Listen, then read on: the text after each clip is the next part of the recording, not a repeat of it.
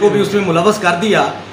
मैं ये कहना चाहता हूँ कि जिस नर्स के बल बोते हुए ये सियासत कर रहे हैं या इन्होंने एक जो है तूफ़ान बदतमीज़ी बर्पा किया हुआ है वो जो आयशा जरी है उसकी डिग्री भी जाली है और उसके ख़िलाफ़ जो है वो एक आ, आ, एंटी करप्शन में केस भी फ़ाइल हो चुका है। सताईस दो दो हज़ार तेईस को हमारे सेशन जज साहब ने भी उनके खिलाफ एक ऑर्डर पास किया हुआ है। तो कल जो है दस से ग्यारह जो नामी ग्रामी जो है अपने आप को सहाफ़ी कहते हैं, उन्होंने डेरे डाले रखे। अगर एक वकील साहब वहाँ पे चले गए तो उनको बड़ी तकलीफ़ हुई। मैं पूछता हूँ कि किस हैसियत में कल पूरे अस्पताल को 10 से 11 साफियों ने यरगमाल यरगमाल बनाए रखा और वहाँ पर उस वक्त वो गए जब कमेटी ने कहा कि आप किस हैसियत में हमें जो है वो अप्रोच कर रहे हैं? आप किस हैसियत में यहाँ पर धंधनाते फिर रहे हैं? क्या आप इसमें पार्टी हैं? मैं समझता हूँ कि एक, इसमें एक सहाफ़ी की मनपसंद जो है वो नर्स को उसकी मनपसंद ड्यूटी असाइन ना करवाने पर जो है सारा ये तूफ़ान बदतमीज़ी बर्पा किया गया है। एक महकमे के पीछे जो है पूरा ज़िले के साफ़ी जो हैं, वो साफ़ी जिनका इस मुआरे में कोई जो है किरदार नहीं है, जिनके चेहरे पूरे लिया में अया हैं, उन्होंने एक तूफ़ान बदतमीज़ी बर्पा किया हुआ है। क्या यहाँ पर कोई और मसला नहीं है? सिर्फ़ एक ही मसला है, क्या उसकी इंक्वायरी जो है इन सहाफ़ियों के हवाले कर दी जाए? एक सहाफ़ी की एक जो इंक्वायरी का भी कोई रिज़ल्ट नहीं आया अभी इंक्वायरी मुकम्मल नहीं हुई। सात दिन से हम सुनने को कि जी घनौने जुर्म में जिनसी हरासगी में, फलां फलां के ये जो है, उसके ऊपर एलिगेशन जो है कर रहे हैं। मैं समझता हूँ कि ये शकील साहब की जो है, ये उनके सच्चे होने का ये दलील है कि दस दिनों से पूरे ज़िला में से टाउं टू की आवाज़ें आ रहे हैं, लेकिन वो बंदा अभी तक ट्रैप नहीं हुआ, वो ट्रैप नहीं होगा, वो किसी को मुँह में भी हराम नहीं देगा। मैं समझता हूँ कि कल की जो इन्होंने बदतमीज़ी की है, हमारे वकील साहब के साथ बदतमीज़ी की है। हम साढ़े आठ सौ बुकला की बार हैं कि हमें इतना कमज़ोर समझा जा रहा है। हम चुप थे तो कोई और बात हमारे सदर साहब ने कहा था कि अभी तक आपने बयान, कल उन्होंने ये जो हमारे वकील साहब के साथ बदतमीज़ी की है या उनके खिलाफ जो है इन्होंने बदजुबानी इस्तेमाल की है, हम किसी सूरत ये बर्दाश्त नहीं करेंगे। हम चंद दस से ग्यारह शर पसंद लोगों की खातर अपनी बार को दाव पे लगाएँगे, ये कभी हो नहीं सकता। इन ताला, बार अपने वकील का तहफ़ करना भी जानती है और उसके साथ खड़ा होना भी जानती है।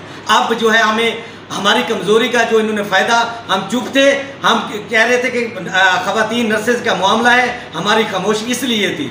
अभी उसकी इंक्वायरी का रिज़ल्ट नहीं उसमें से क्या निकला है? कल ग्यारह जो बारह जो नर्सेज पेश हुई हैं, उन्होंने खुल के बताया कि शकील ने किसी के साथ कोई ज़्यादा नहीं की। शकील जो है सख्त थे, उन्होंने रोस्टर में जो है वो उनके पास था। तो उसमें तो हो सकता है हमें कोई इख्तलाफ हो अदरवाइज़ ना उन्होंने जिनसी हरासगी हमारे साथ की है, ना उन्होंने हमारे साथ कोई मिसकंडक्ट किया है। तो ये उसके ऊपर जो है, उस इंक्वायरी के ऊपर असरअंदाज होना चाहते हैं। कभी कमिश्नर साहब को अप्रोच करें कभी सीएम पोर्टल को, कभी पीएम पोर्टल को, साफ़ी का काम ये नहीं है कि आप फरीक बन जाए। आपने देखा है, मेरे मोजद बुकला ने भी देखा है कि किस तरीके से एक इंसान की जो है, उसकी करदार कशी की गई। पिछले दस दिन में आप देखें इनकी फ्रंट जो है पेज पे जो है, उसकी करदार कशी की जा रही है। शुक्र है, अल्हम्दुलिल्लाह, कि उसमें से वो सुरखरू हो चुका है। उसका तबादला ना होना इस चीज़ की दलील है कि वो बंदा हक पे खड़ा है और वो बजरगमाल नहीं हुआ। मैं तो हैरान हूँ। साहब ही चुप हैं, वहाँ पे तो बात नहीं करते, जहाँ पे एक सरकारी क्वार्टर में एक जो है निजी टीवी चैनल कायम है उस पर तो डीसी डीसी साहब एक्शन नहीं लेते। मैं हैरान हूँ कि एक दूसरे मामले पे जहाँ पर एक बहुत बड़ा ज़िला लिया का पोर्नोग्राफी का केस था उसमें जो नामजद मुलजमान हैं वो आज हमारे जो एहतसाब करने पर तुले हुए हैं। वो आज हमसे एहतसाब मांगते हैं। आप मुझे ये बताएँ जिला का कौन सा बंदा इनके किरदार से वाकिफ नहीं है? शकील के किरदार से भी वाकिफ है और जो मजमूम हरकतों में ये किरदार कशी पर जो मजबूर हैं इनके इनके किरदार से भी वाकिफ है। आए किसी चुराहे पे हमारे सामने बैठे। ये बद किरदार लोग जो हैं ये एक इज्जतदार बंदे की इस तरह से इज़्ज़त नहीं उछाल सकते जिस तरीके से इन्होंने किया हुआ है। और इनशाला लैया में डेढ़ से दो इनशाला आज हम के बारे में ये गुफ्तु कर रहे हैं? आज डेढ़ से दो सौ साफी हैं आप किन साफियों के बारे में हम हम जो सहाफ़ी हैं जो सही मानों में सहाफ़त कर रहे हैं वो हमारे माथे का झूमर है और उनको पूरा ज़िला लिया जानता है। और जो इस इन सहाफ़ियों में चंद एक लोग जो हैं, जो शर पसंद टोला है, जो जो है इसको अंदर ब्लैक शीप हैं, हम उनकी बात कर रहे हैं। जो सहाफ़ी हैं, वो हमारे लिए काबिल एहतराम है, वो हमारे जो है माथे का झूमर है, हम उनकी इज़्ज़त भी करते हैं और माशरा भी उनकी इज़्ज़त करता है। ऐसे लोगों की इज़्ज़त नहीं करता। मैं समझता हूँ कि डीसी साहब और इनको भी कमिश्नर साहब को भी नोटिस लेना चाहिए। वो जो ये किरदार कशी पे तुले हुए सहाफ़ी हैं इनके बारे में भी यहाँ पे जो एजेंसियों से रिपोर्ट लें, हर डीसी और हर डीपीओ इनके बारे में फाइंडिंग दे के जा चुके हैं। ये कैसे ब्लैक मेलर सहाफ़ी हैं मेरी गुजारिश है, हम सदर बार से भी गुजारिश करते हैं, मेरी एग्जैक्टिव भी मौजूद है, कि इन ताला अब जो है, ऐसा जो है जो काले करतूत में शामिल साफ़ी है हम उसको डिस्ट्रिक्ट बार एसोसिएशन लिया में भी उसके ऊपर पाबंदी लगाते हैं। वो जो अग, हमारे वकील के करदार कशी करके यहाँ पर आके हमारे साथ बदमाशी करे ये चीज़ हम नहीं चलने देंगे। हम हर जगह पर उनका मुहासबा करेंगे और हमारी सदर साहब से और गुजारिश है कि आप भुकला के सदर हैं आप सहाफ़ियों के सदर नहीं हैं।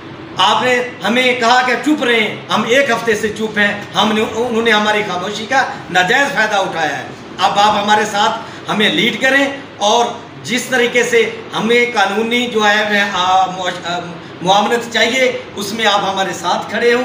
इन ताला, आज से मैं आपको यकीन दिलाता हूँ कि आप, आपको मैं पेपर प्रोवाइड करता हूँ तो ये जो आयशा जहरा नामी जो खातून है, जो नर्स है, मैं पेपर आपको अभी देता हूँ। तो वो जो हैं, उनके ऊपर एंटी करप्शन भी नोटिस ले चुकी है, और उसके ऊपर सेशन जज साहब भी आर्डर पास कर चुके हैं, और उनकी डिग्री भी जाली होने के शवाहद मिल चुके हैं। इन बहुत जल्द जो है, वो इंसाफ के कटहरे में हम लाएँगे। हम अपने किसी भी मोज़ जो है, किसी भी डिपार्टमेंट के बंदे की तजलील बर्दाश्त नहीं कर सकेंगे। शकील ने अभी तक जो डटा हुआ है ये उसके हक और सच के साथ खड़ा होने की दलील है। जर सहाफत के मुँह पर तमाचा है और हम इन ताला हमारी साढ़े आठ सौ के करीब तादाद है। चंद मुट्ठी पर शर पसंद जो है जो हमें जरगबला जरगमाल बनाना चाहते हैं हम उनके हाथों में बार के वकला की इज़्ज़त और तोकीर जो है वो ख़राब नहीं होने देंगे। हम अपने वकला के साथ हैं। हम इन दाल में दर में सुख ने उनकी हर मुश्किल में उनके साथ खड़े होंगे।